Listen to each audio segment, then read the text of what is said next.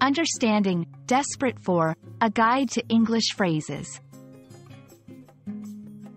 Hello everyone, welcome to our English language learning series. Today, we're diving into the phrase, desperate for. This phrase is common in English and understanding its use can really enhance your language skills. So, let's explore what it means, how to use it, and see some examples in action.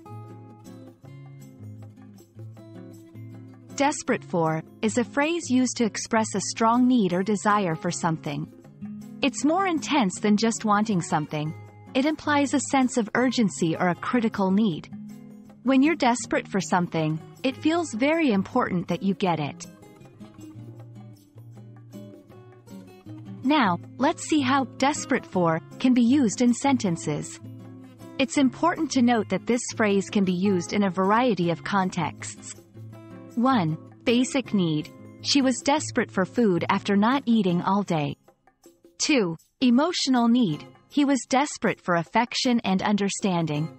3. Situational. They were desperate for a solution to the problem. Each of these sentences shows the phrase being used to express a deep and urgent need. When using desperate for, there are a couple of common mistakes to be aware of. Don't confuse it with just desperate, which can have a slightly different meaning. Remember, desperate for should be followed by a noun or noun phrase. Understanding synonyms can help you better grasp the meaning.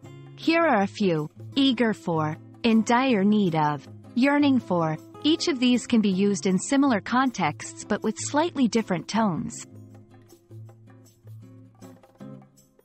I hope this explanation helps you understand and use desperate for confidently in your English conversations. Remember, practicing these phrases in different contexts is key to mastering them. Thanks for watching, and see you in our next video.